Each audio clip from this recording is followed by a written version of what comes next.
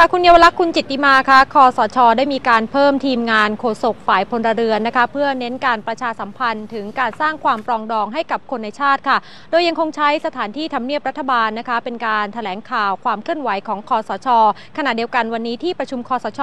โดยพลเอกประยุทธ์จันโอชาค่ะ ก็ยังคงเน้นย้ำให้ระมัดระวังการใช้กฎหมายนะคะ กับกลุ่มที่ออกมาต่อต้านค่ะ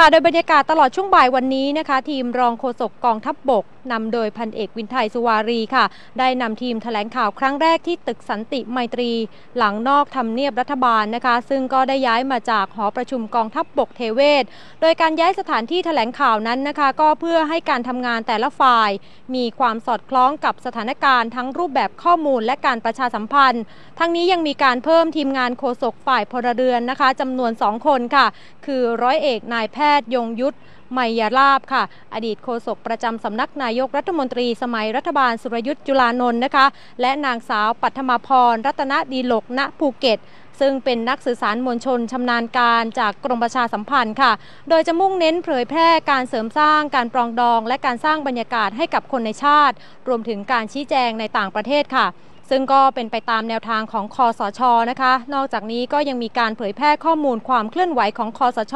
ผ่านเว็บไซต์ของทำเนียบรัฐบาล และในส่วนของกรมประชาสัมพันธ์ค่ะ ก็ได้มีการจัดตั้งศูนย์ปลองดองแล้วทั่วประเทศนะคะ ซึ่งจะมีการจัดทำในงบประมาณปกติของกรมประชาสัมพันธ์ค่ะขณะที่เมื่อช่วงเช้าที่ผ่านมานะคะ ก็มีการประชุมเพื่อติดตามการทำงานของคอสช โดยพลเอกประยุทธ์จันโอชา หัวหน้าคอสช ก็ได้มอบหมายให้พลเอกอุดมเดชศรีตบุตร เลขาธิการคอสช เป็นประธานการประชุมค่ะ ซึ่งหลังจากการติดตามผลการปฏิบัติงานในภาพรวมทุกด้านก็เป็นไปด้วยความเรียบร้อยค่ะ โดยพลเอกอุดมเดชได้กล่าวถึงข้อห่วงใยของหัวหน้าคอสช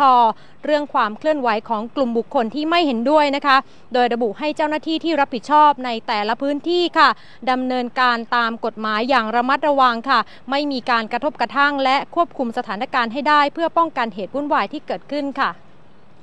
อย่างไรก็ตามค่ะทางด้านพันเอกวินไทยสุวารีนะคะ ทางรองโฆษกกองทัพบบกนะคะก็ยืนยันว่ายังไม่มีข้อมูลชัดเจนที่พลเอกประยุทธ์จันโอชานะคะจะเข้ามาใช้สถานที่ที่ทำเนียบรัฐบาล เพื่อเป็นสถานที่ปฏิบัติงานค่ะ แต่ยังคงใช้ที่กองบัญชาการทหารบกในการประชุมความเคลื่อนไหวของคอสชค่ะ คุณเยาวลักษณ์คุณจิติมาคะค่ะขอบคุณค่ะ